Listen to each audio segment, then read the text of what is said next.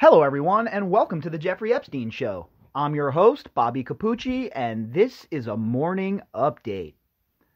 This morning, we're going to talk about Marvin Minsky.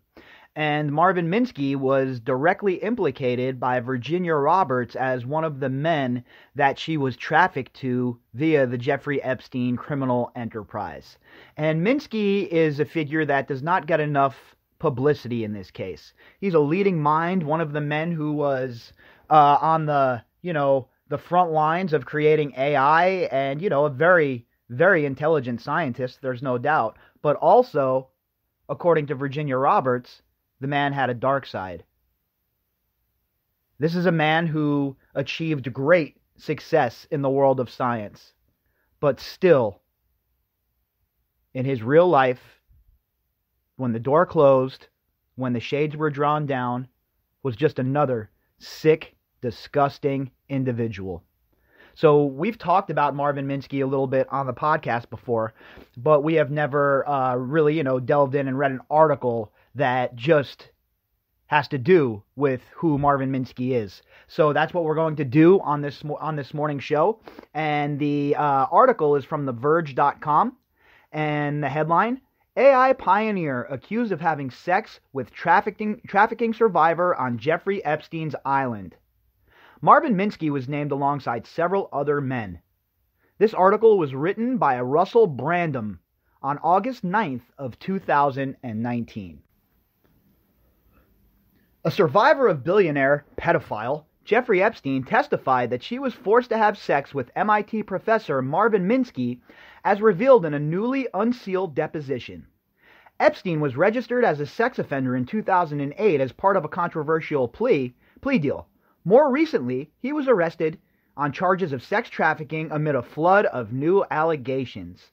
And uh, look, we know the ties that Epstein had to MIT. We know that Epstein and Minsky were tight. And we know that these scientists were always on Jeffrey Epstein's island.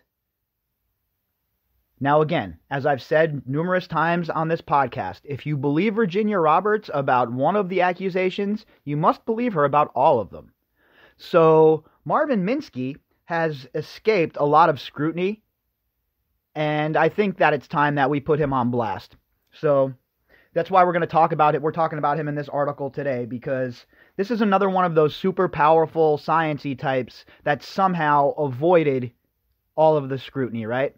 And we know that Minsky is dead, obviously, right? But still, that doesn't mean that he shouldn't be put on blast, that his role in this shouldn't be reported on, that, you know, his image shouldn't be tarnished by this because it should. You know, when you when when you engage in activities such as this, you need to be painted by that activity for the rest of your life because there's no coming back from that, right? There's no coming back from engaging in sexual uh, behavior with a trafficked girl. There's no coming back from that. You, what do you apologize for that? There's no apologies for that. There's no sort of uh, you know going and and and doing good deeds to come. Back. There's no coming back from it. So a guy like Marvin Minsky, he can have all the accolades in the world in the scientific community. I don't care if this guy found a cure for insert any disease here. It would not matter because of his actions outside of the lab or outside of the classroom are so heinous and so disgusting that anything else he does in life will never, never overshadow the fact that he was involved in not only enabling Jeffrey Epstein, but partaking in the abuse. Minsky, who died in 2016, was known as an associate of Epstein, but this is the first direct accusation implicating the AI pioneer in Epstein's broader sex trafficking network. Of course, because all of this stuff was kept on the low low. How many other girls were forced to sleep with guys like Minsky? The unnamed girls, the girls with no face, the girls with no voice. Where are they? What how many of them were forced into these sort of acts with men like Minsky?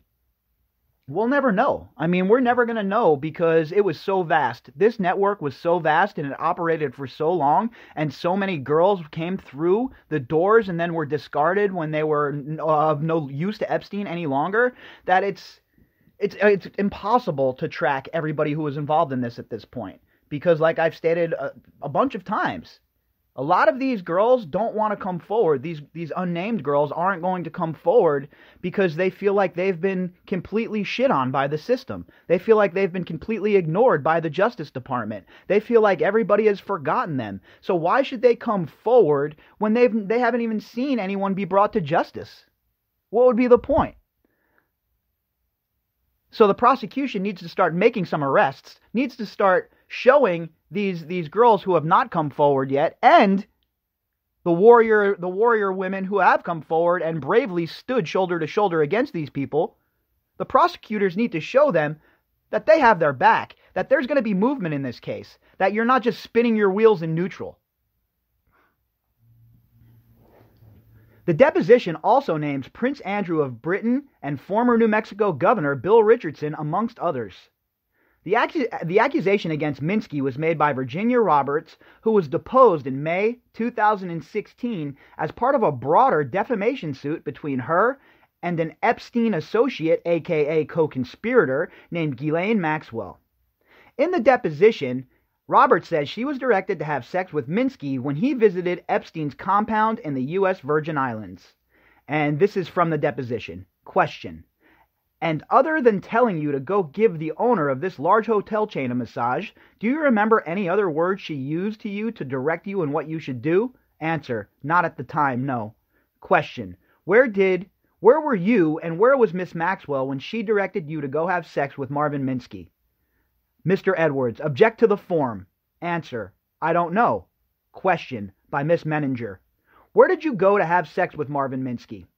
Answer: I believe it was the U.S. Virgin Islands. Jeff's, sorry, Jeffrey Epstein's island in the U.S. Virgin Islands.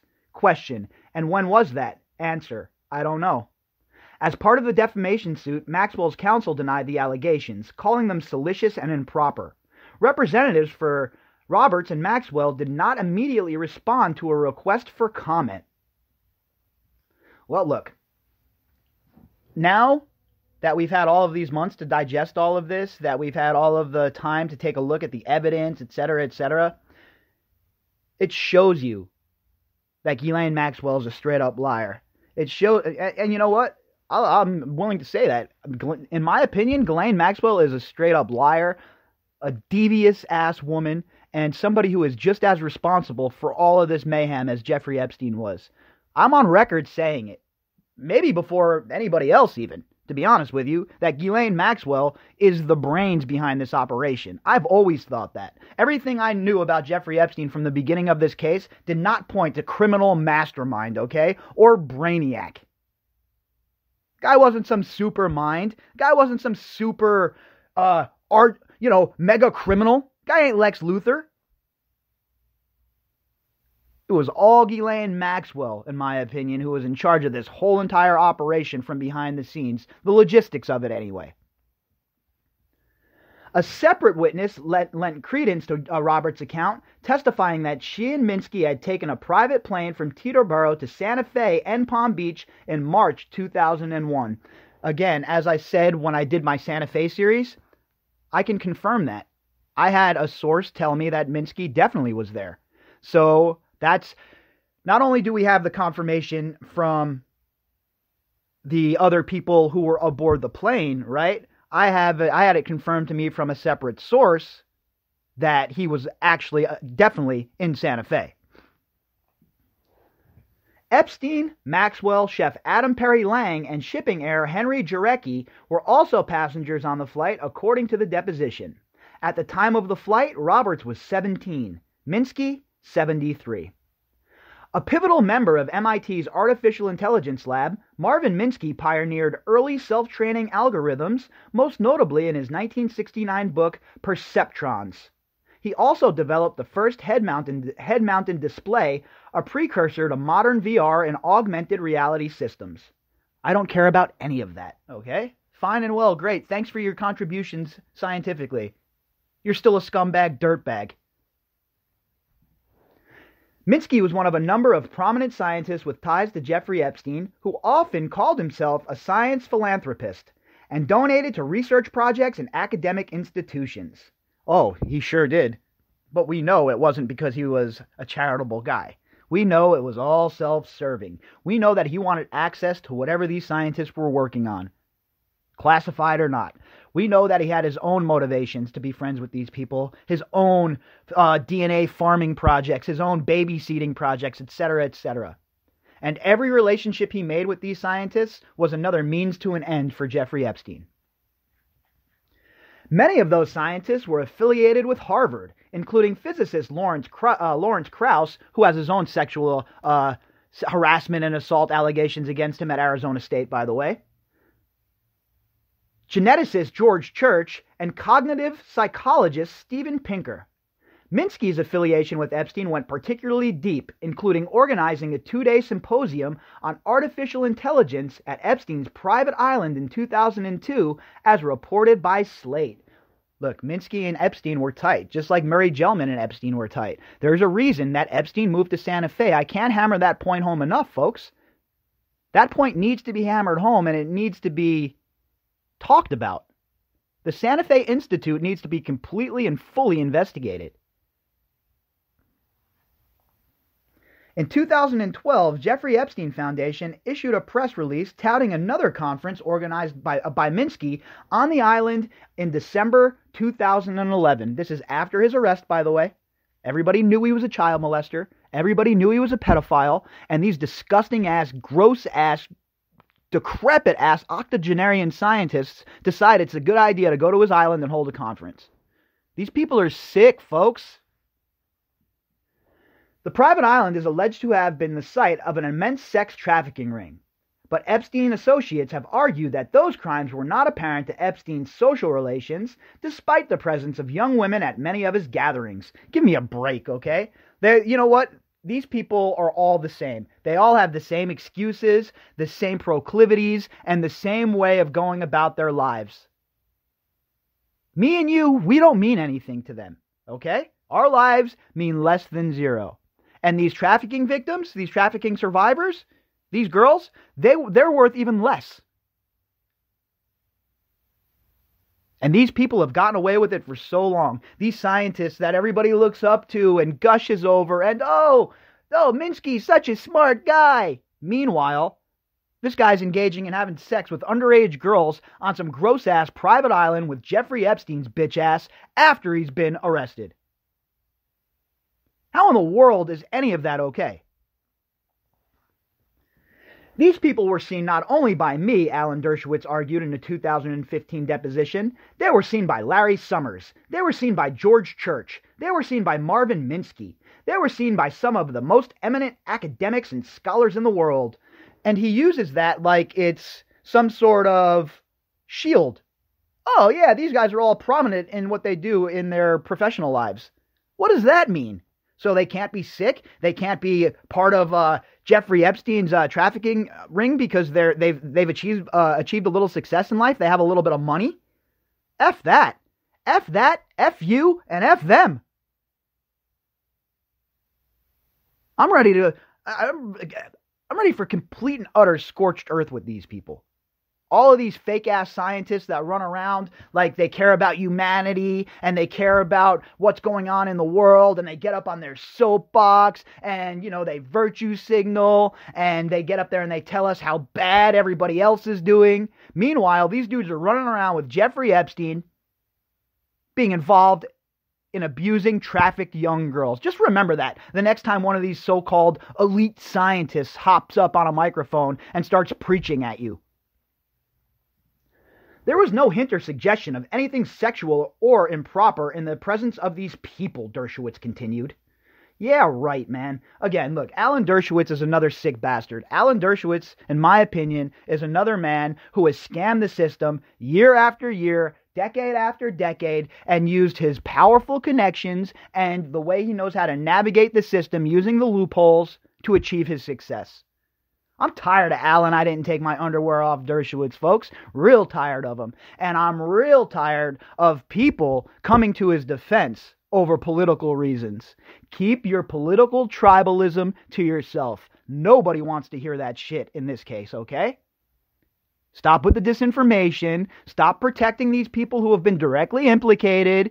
And let's get busy arresting these disgusting old ass, gross bastards who are involved with this. All of them. I want them all locked up. It's time. Enough is enough. How long are we going to sit back and build evidence? The evidence is there, the evidence is clear. Let's get to work, Mr. Berman. If you'd like to contact me, you could do that at Bobby Capucci at protonmail.com. That's B O B B Y C A P U C C I at protonmail.com. You can also find me on Twitter at B O B B Y underscore C A P U C C I. Now, for my COVID 19 podcast, thank you so much for all of the positive reactions. And I, I hear you all loud and clear. I definitely hear you all loud and clear. You want more content as far as the COVID 19 podcast goes. So that's what I'm going to do. I'll start pumping out more uh, content. Maybe we'll start doing the daily drop as well, see how that goes over for the COVID 19, where we, uh, you know, keep up to date on the newest news. With the first episode, I wanted to lay the groundwork for the origins. And now on the second episode, the headline, I mean, the uh, title of the second episode is It's Just the Flu, Bro, where I'm going to go through and show you different articles from the mainstream media, the legacy media, that were detrimental to your health. Okay? And it's going to show you just another reason why you cannot trust them. The legacy media just does not care about you or I. And the way they reported this story from the beginning was so irresponsible, so hurtful to the response, not only nationwide, but throughout the whole entire West, that when all is said and done and the dust settles, people must be held responsible. So on episode two, it's just the flu, bro we're going to read through some articles from the legacy media and we're going to discuss how irresponsible their reporting was. And we're also going to discuss how irresponsible the reaction from the Western leaders, including Donald Trump, was in the beginning of all of this. So you could look forward to that coming up in the next few days. Uh, it's just the flu, bro. That episode should be out tonight, but at the latest, it will be out tomorrow morning. So I hope everybody has a fantastic day. I will be back later on with the daily drop. And if you have any questions, comments, anything you want to run by me, I'm sitting around in lockdown like the rest of you, so shoot me some emails. All right, folks, I'll talk to you all later.